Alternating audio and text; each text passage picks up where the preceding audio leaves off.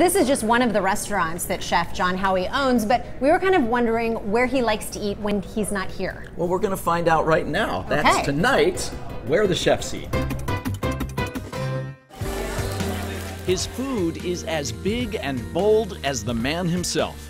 Chef John Howie has been taking care of Northwest diners for decades, but running four restaurants, a brewery, and an award winning distillery doesn't leave him a lot of time to check out other restaurants. I don't get to go out to eat as often as I would like, but I do have some special places that I do go to when I do. One of those special places is not too far from his house. Hey, we're at VV Pizzeria in Woodinville, and I've been coming here for a little over a year.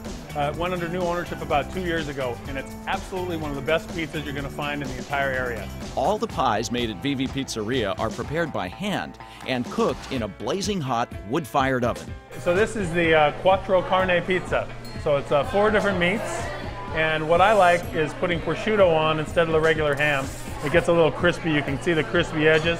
This is a, a meat lover's pizza right here. I work a little late, so there's times when I'll stop in and pick this up late at night. Um, I have to be in the right mood though, because my wife uh, wouldn't want me to be having pizza without her.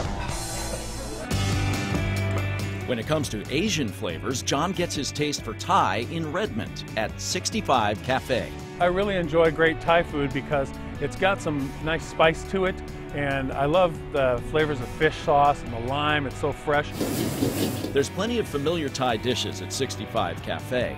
One of John's go tos is the papaya salad. So we've got the grilled black tiger prawns on here. Get some of those off and can mix them in with the uh, papaya salad and just a really refreshing salad. Here's another dish that I just I just love. It's kind of unusual. It's called Tod Mun. It is a fish cake and when they make it, they beat the raw fish together with some green onions and lots of spices and curry, a little sweet and sour dressing on them, peanuts. This is a great dish. The final stop of the night is a short walk from two of John's restaurants. We're in downtown Bellevue at Broiler Bay. This is probably the last stop for a lot of people at night, late at night. This is a great old burger joint. Greasy spoon burger joint with wonderful onion rings and great burgers. All right, I'm gonna have uh, a mushroom Swiss burger and some onion rings, of course. Don't let the retro interior fool you. Broiler Bay has been making award winning burgers since they opened nearly 30 years ago. It's a, just a great burger.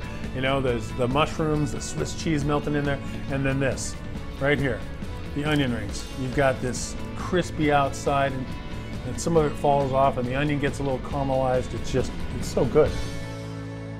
Those are some great picks. If you missed any of them, here they are again. First one was Vivi Pizzeria in Woodinville. And then next we got a taste of Thai in Redmond at 65 Cafe. And that last stop was for burgers at Broiler Bay in downtown Bellevue.